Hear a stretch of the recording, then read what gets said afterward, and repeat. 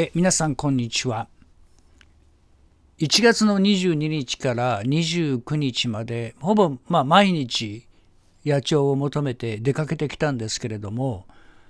その間のね、えー、状況をご報告したいと思います。そして、まあ、一応野鳥情報ということであのお聞きいただければいいかなというふうに思います。で、まあ、ここに写真が載ってますけれどもこれ、まあ、イカル常備滝そして紅益子モズヒレンジャクということなんですがこの紅益子だけはね違うところにいたんですよ。でこの紅益子がたくさんいる場所がねあったので後でねそのお話をお話をしたいというふうに思います。じゃあよろしくお願いいたします。それでですねまずえー、1月の22日は、えー、室池園地の出生花園に行きました。まあ、よく行く時なんですけども、ここはちょっとね、あの、天候気温というのを書いていないんですが、ちょっと記録してなかったもんですから、まあ、とりあえず行ってみましたけれども、ここは、あの、映した鳥は一番もいません。まあ、大体いるのはね、メジロと、それからヒヨドリぐらいですね。まあ、例年だと青地なんかがねパラパラパラとこうねすぐにあの藪の藪の中に隠れていく光景が見られましたけれども今年は青地もねもうほとんどいないです。で翌23日火曜日湿生花園と道池に、まあ、両方行きましたで最高気温6度ということでまあ私にとってみたらちょっと寒いかなまあ、逆に言いますとねだんだんと例年通りの寒さになってきたのかなという気がしました。でこの時はね青字のみって書いてますけれどもその青字もですねあのたくさんじゃなくて1羽とかね2羽とかねそのレベルです。これはまあ湿生花園同池、まあ、いずれもね1羽ずつしか、まあ、見なかったということです。でこの日はねどう行けばねいつもはあの常備炊きがいるんですけどもちょっとねこの時は全く何も出てこなかったです。で翌24日なんですが、えー、まあ湿生花園やはり行って成果がなかったので淀川の河川公園ですねちょうどあの大麻の公園の反対側になります、えー、鳥飼西地区っていう河川公園になるんですけども、まあ、ここに行ってまいりました。でここもですねあの何の成果もありませんでした。河川公園ではねまあ記事も見たことあるし、まあ、写真撮りましたよ。記事とかあるいはあのホウジロとかねいるしもちろん常備炊きのオスメス両方いますしねあとマヒワあマヒワじゃないな河原ヒワの群れ群れですねそういうのもいるしつぐみのもう群れもねいるしというまあ賑やかなところではあったんですけどもあの今年はもうね全然ダメです。はい。それでですね25日に、えー、出世会に行きました。えー、まあ、この日はですね、まあ、曇りで、まあ、やはりあの、まあ、寒い日だったんですけどマヒマの群れがねよくここはあの来るのでまああのやっぱりこの日は来ておりましたで小雪が舞うということで、まあ、山の上ですからねちょっとやっぱ寒いですよね。はい、えまあそれでもまあマヒワの群れがいたと。ただしちょっと遠いのでね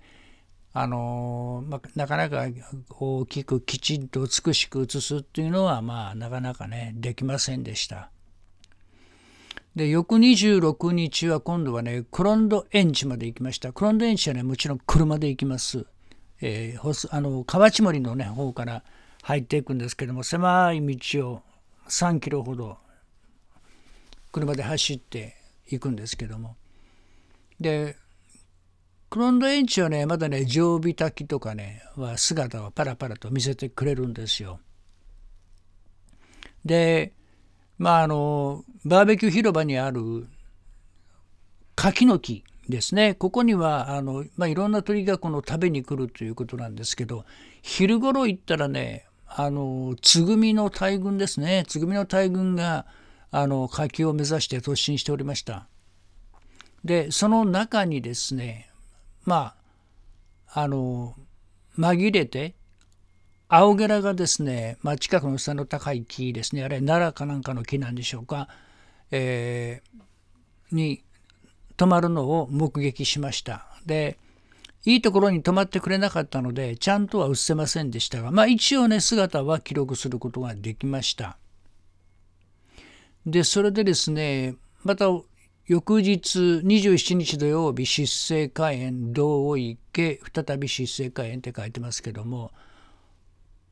この日はですね珍しいことに同池のハイキングコースを歩いておりましたらあの白原がね飛び立ったんですよ。で最近白原はね今年はまだ見てないっていう話があったんですけどもやっとこう戻ってきたのかなっていう感じがしました。だからまあ気温が彼らにとって程よいレベルになってきたのかなというそういう意味なのかなという感じがしましたね。はい。そしてねこの日は道池に行った時はテントを持っていきました。カモフラテントですね。まあいわゆるブラインドってやつなんですけどもこれをあの去年おととし買ったおととし購入したのをずっと使ってなかったのであのまあ初めてねあ初めてってまあ2回目かな。あの2回目に使ってみました。広げるのはね簡単にね広げられるんですけど畳むのがまあ本当に大変なんですよこれはね。はい。まあそれでですねあのこの同意家は大体常備炊きがねあのよく姿を見せるんですよ。で瑠璃火炊きのねオスもいるんですよ。ところがですねずっとこの間、えー、同池に行ってもあの瑠璃火炊きのオスを見ることはできませんでした。ところがですねこのカムフラテントをカモフラテントを使って中に入って待い待っていたら出てきたんですよ。やっぱりいるんだわ。もうテントの中に隠れたら一発ですね。青いのが出てきましたよ。この間ずっとね、見ませんでしたけれども、ああ、やっぱりね、ドリのオスがね、いましたわ、これ。なるほど、これがテントの威力やな。もうね、あの、ルビタキのオスはもうどっか遠くへ行ってしまったのかなって僕は思ってたんですけど、やっぱりいるんですよ。人間の姿を見たらやっぱり出てこないということなんじゃないかなと思います。カモフラテントではもうね、なんか人間が動き回る気配はありませんのでね。あの安心してあの出てきたんじゃないかなとこういうふうに思います。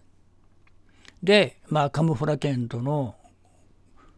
まあ、紅葉というか、まあ、これはやっぱり有効かなという感じがしましたね。はい。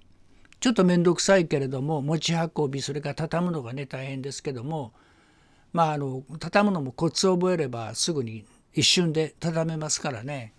まあまあ重いのを我慢してちょっとこれからは頻度多く使うのがいいかなというふうに思いました。で28日はクロンド園地に行きましたね。ちょっとあったかめですよね。であの晴れたり曇ったりっていう感じだったんですけどもこの時はね常備炊きのオスがあのいましたね。それとなんとまあ私あのバーベキュー広場に行ったらたくさんの方々が望遠レンズを向けておられましたのでその先を見たらですねヒレンジャクがいたんですよ。で2羽だけだったんですけどもヒレンジャクも柿の実をねついばみに来ておりました。でお昼頃になるとねつぐみがねあのたくさん来てねもうつぐみオンリーになりましたね。それから29日月曜日もう久しぶりにね鳴川園地に行ったんですよこの東大阪の。で鳴川園地に行ったんですけど姿を見たのはもう常備炊きのメスが2回だけであとは何にもおりません。まあヒヨドリは別として何もいなかったですね。で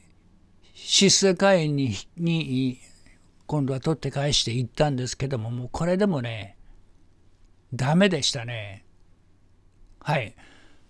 ということでですねまあこの1週間はまああんまりねあの大した成果はなかったです。ところがですね1月の30日まあ昨日なんですけども火曜日宇土野へ行ってきました。やっぱりね宇土野は高槻の宇土野ですねあそこはねあの紅益子なんかでもワンサとおります。それから猛禽類がね飛び交ってますよね。あのああいうノスリとかなんか夕方になると灰色注意とかねハイタカとかなんかいるんだそうです。私はもう見分けつきませんけれどもそういうのも出るんだそうです。でまあやはりねもう今鳥の写真を撮ろうと思ったらうどうどのかなというふうに思いましたね。でついでにね昨日帰り道にあの同じくあの淀川の川沿いにずっとこうね枚方大橋まで帰ってくる途中であの大塚地区っていう河川河川公園があるんですよ。あの大塚地区河川公園に、えー、まあ、バイクを置いてちょっと歩いてみたらねなんとまあいろんな鳥がねやっぱりいるんですよ。で昨日見たのはねあのエナガとかモズとかジビタキやらあるいはベニマシコやらいろいろいましたよ。それからあの写真は撮れなかったけども白原もねちゃんと来ておりました。ということでしばらくまたこの大塚地区へ通うことになるかなという気がします。